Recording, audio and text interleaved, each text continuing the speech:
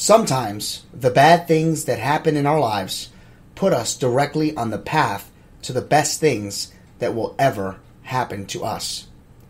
You can't start the next chapter in your life if you keep reading the last one. During the holidays, sometimes relationships don't last. Today's episode is breakups during the holidays. When I was a child, my mom always told me, Angel, when you were born, all the angels came from heaven. Do you know why? Because you're special. On June 16, 2018, I launched my show, Have Faith, Let It Begin. I always wanted to change the world, share my personal testimony, share real life stories and motivational topics to set out to go out and change the world. Join me each and every week, Monday through Friday at 6 a.m., because this is a show all about faith. My name is Angel, and welcome to Have Faith, Let It Begin. Hello, everyone, and welcome to another episode of Have Faith, Let It Begin. Don't forget to continue to send those New Year's resolutions. We're going to be continuing on and reading them out loud right as the new year begins. So please take the time, an audio clip, write it to us on our social media. We will read them out loud on the air. Folks, I want to talk to you today about, well, you saw the title. And right now, as I'm recording it, I haven't concluded my title, so this may t- this title that I'm going to say right now may not be exactly the same as the one I um, I post, but this is relationships on Christmas. Well, there's two different types of relationships. There are those that are new and those that come to an end. Just recently, I had an opportunity to discuss um, a situation with one of my good friends. I'm not going to announce them, but that person lost the relationship literally days before Christmas. And the individual has not had a really good track record during the holidays. Um, it is almost as if the relationship begins throughout the spring and summer, and as the fall season approaches, and then the holiday seasons um, get closer, the relationships fade out. This has really broken my heart because this individual is a great person with a great heart. And to be fair, the relationships did not end in a nasty way. They all ended almost the same way. It's not you, it's me. You're a, per- a great person, but right now, the way that I am living my life, I don't have time for a relationship.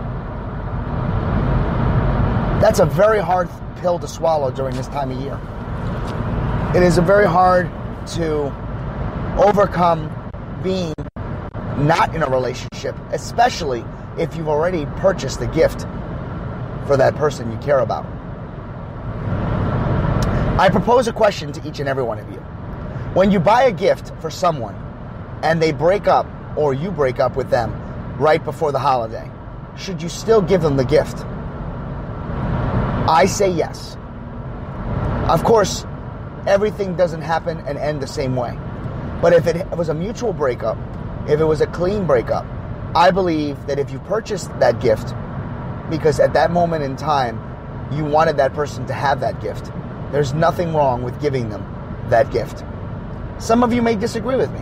Some of you may say that person doesn't deserve the gift.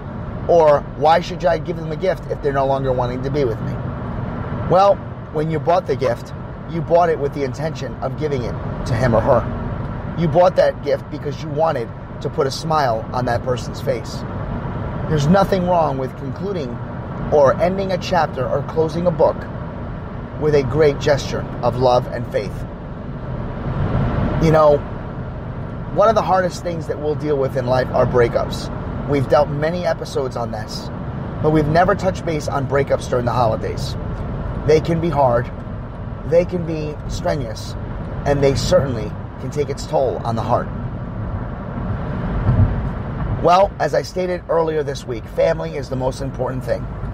Family is what keeps you going. And if you have the opportunity to be with friends or friend or family or immediate family, take the time to do so. Yes, it's going to be hard to be around other loved ones especially if they're in relationships or appear to be happier or happy than you. Remember one thing. Yes, for the time being, the pain will be there.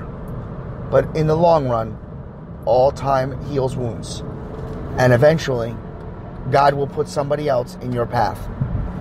Eventually, life moves on. For those of you that are spending the holidays with the loss of a loved one, know this. I believe that they are always watching down from heaven. Yes, it's a cliche. Yes, it's something you hear about all the time. Oh, you know, I know your grandmother is watching you from heaven. Oh, I know that she'd be smiling down from heaven. You know what? It's the truth. God is everywhere, and so is our families. So is our loved ones.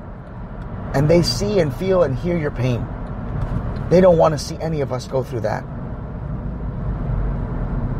So when you're out and about, or going out and driving and heading to your next destination, if you're that individual that is feeling that type of pain this morning, this afternoon, or this evening, we here at Have Faith, Let It Begin want to extend a hug, a word of caution, and a word of gesture, and that is we love you, we support you, we are here for you, and no matter what happens, we believe in you. Spend this holiday season, start the new year right, and do it with a smile on your face. Because no one and nothing can steal your joy anymore. Allow the pain to disappear. Allow the smile to return. Allow the opportunity to present itself so that you can move on and move forward. So that you can find the next part of your chapter in your life. And that chapter will lead to happiness. I wish you nothing but the very best on today's episode as we conclude.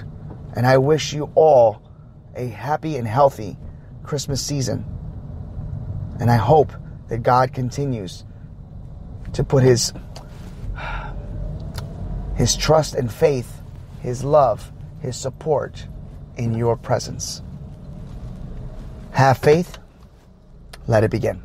Thank you for listening to another episode of Have Faith, Let It Begin. You're going to hear episodes me recording live as my daughter in the background, Ariel, will probably cry. You'll hear background noises like phone calls, and right on the cue, she's starting to cry. Don't worry, everybody. We're going to continue on like never before.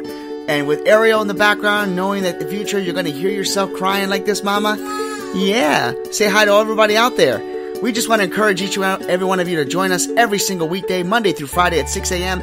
Join me, Ariel, my family, and everyone as we continue our journey. For Have Faith, Let It Begin, my name is Angel. Say goodbye, Ariel. Say bye. And bye.